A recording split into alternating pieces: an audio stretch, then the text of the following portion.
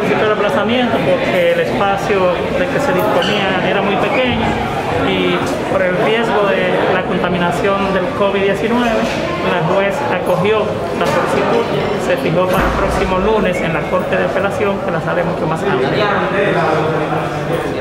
Una querella por parte de una persona supuestamente propietaria de unos terrenos que están aquí en San Francisco de Macorís, lo cual no tienen realmente la forma de demostrar que ellos son los verdaderos dueños de, esa, de esas tierras. Pero es una situación muy delicada en cuanto a las personas que fueron apresadas en ese lugar. Según dice la Organización Mundial de la Salud, lo más afectado en este asunto del COVID-19 son las personas de avanzada edad. Y ahí casi todos, en la totalidad son 21, de los 21 apenas hay 3 que no, no rondan la edad de 40 años, todos después pasan de 50. Y en el caso que nosotros nos compete, estamos representando a una señora que está rondando los 70 años de edad. Si fuera por cubrir, cuidar realmente la salud de los que estábamos ahí, ¿por qué no ordenaron que esa audiencia fuera en hora de la mañana? Nosotros venimos desde Santo Domingo hasta acá, cumpliendo con un llamado que nos han hecho nuestros clientes, porque entendemos que la libertad es lo que viene segundo de la vida. Después de la vida, la garantía más grande que tiene una persona es la libertad.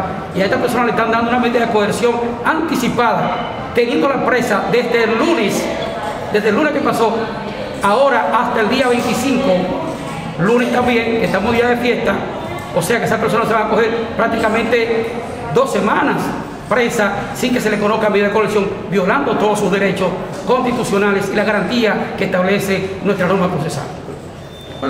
Tienen esa, eso, ese decreto está avalado por una serie de, de, certificaciones del Instituto Nacional de la Vivienda.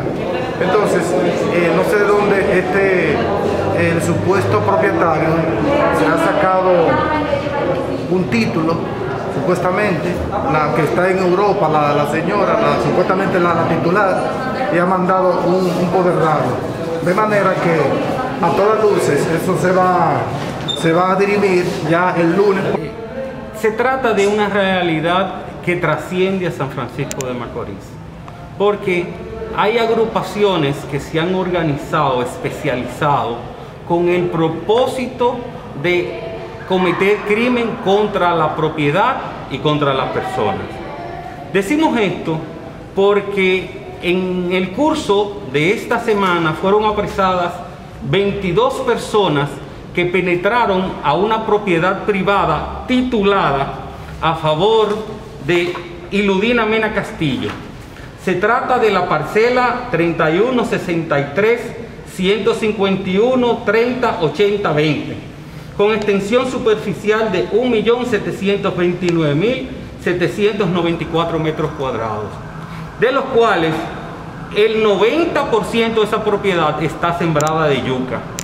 Esa yuca en, parte ha sido hurtada por las personas que están detenidas y nosotros tenemos las fotografías que se indican y prueban los hechos e invitamos a la prensa a los fines de que vayan al, a la propiedad, le vamos a permitir el acceso para que comprueben el hurto de la yuca. Ahora, independientemente del robo de la yuca, ellos penetran a una propiedad habitada, cortan los alambres de púa, armados con armas de fuego y armas blancas. ¿Con qué propósito?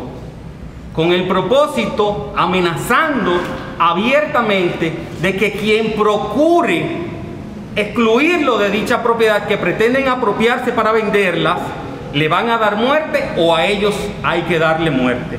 Fíjense que se trata de un caso fríamente analizado, porque nosotros venimos batallando con el mismo grupo de personas desde el 28 de febrero del 2018, cuando nosotros presentamos el primer querellamiento contra ellos.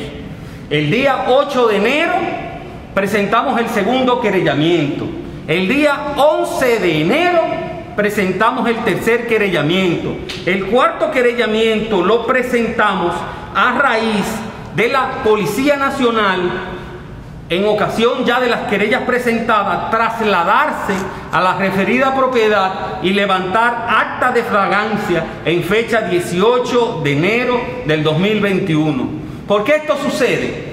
Porque nosotros los días anteriores permitimos que esas personas entraran, robaran la yuca, mataron inclusive, cortaron una vaca y los perros eh, la, le dieron muerte, se comieron esa parte de esa vaca porque parece que la vaca le fue encima.